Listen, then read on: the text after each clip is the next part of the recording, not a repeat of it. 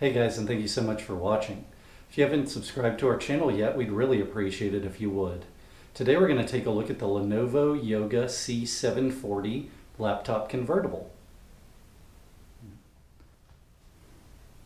This PC has an Intel Core i5-10210U quad-core processor. It's 1.6 GHz base, 4.2 GHz boost.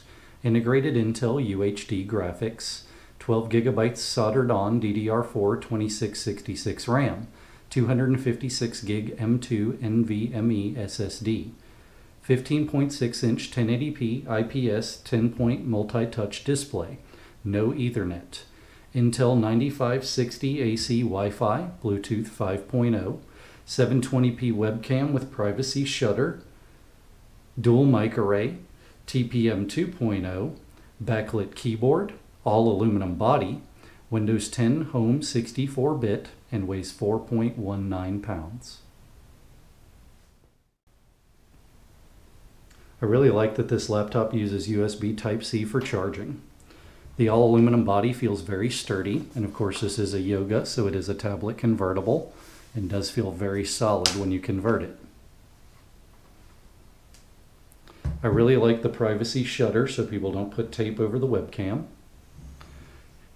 The keyboard is pretty much full size with a 10 key number pad. There are standard Lenovo function keys across the top. The touchpad is a pretty good size as well, and this is a backlit keyboard.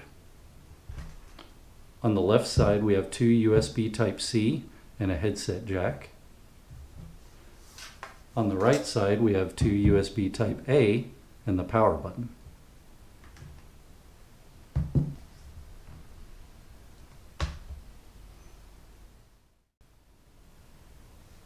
To open it up, I took all the screws out and there were pop clips as well. It was a bit difficult to get open.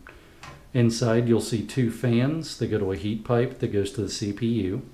The RAM is under this cover but is soldered on. Wi-Fi card, NVMe SSD, CMOS battery, and then a very large system battery that takes up most of the case.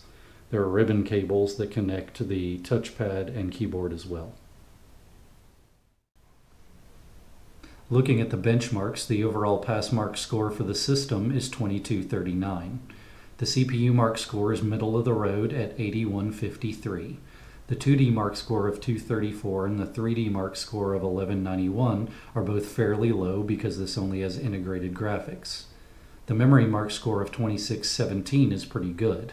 The disk mark score, 20148, is excellent. That is thanks to the fast NVMe SSD. I really am a big fan of the Lenovo Yoga series. I think they're very durable and I really like the all aluminum body on this one.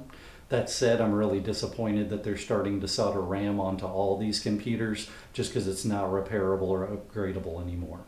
If you have any questions, please put them in the comments below. Please like, share, and subscribe. And if you have anything you want to add that I didn't include, please put that in the comments as well. I'm always glad to learn something new. Thanks.